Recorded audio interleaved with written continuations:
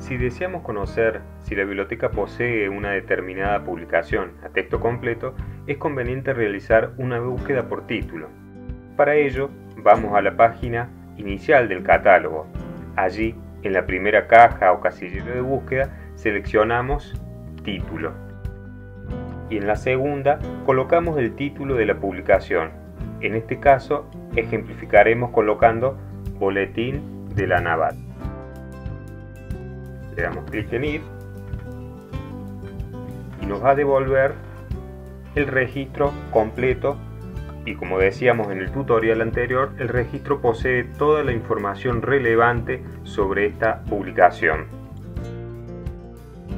Aquí encontramos el enlace al texto completo, lo cual nos va a permitir acceder a los números en los cuales se posee los artículos a texto completo. En este caso, los que están remarcados con amarillo de fondo poseen la versión digital completa, como pueden ver ustedes aquí. Para el caso en que querramos hacer una búsqueda por autor y acceder al texto completo, procedemos de la siguiente manera. Vamos a la página inicial del catálogo nuevamente, allí colocamos autor y en el segundo casillero o caja de búsqueda colocamos el nombre y apellido del autor. En este caso pondremos Dante Alighieri.